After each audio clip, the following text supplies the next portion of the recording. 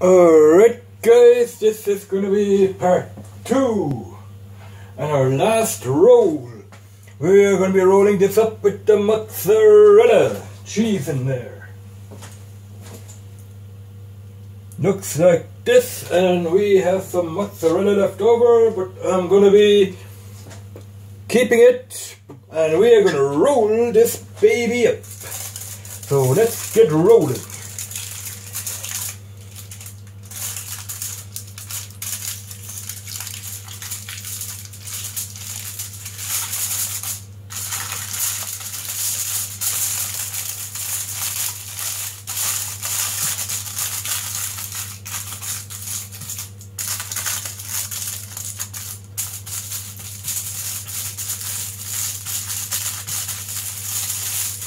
Let's roll it back up.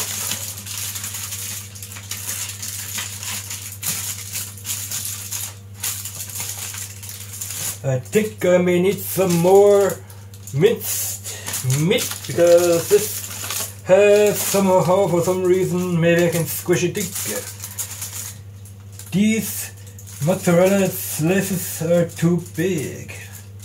But that doesn't matter because we are gonna squish this up.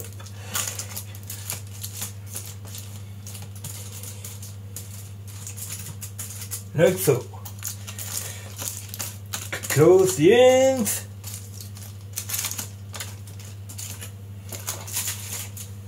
This guy over here.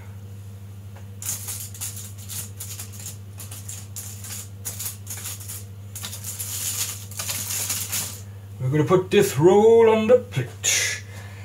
And for now we are done. We are going to put these into the pen.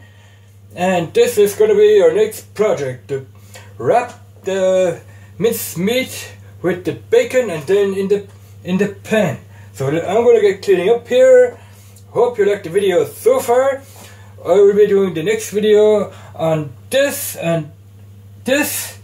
So hope you like it.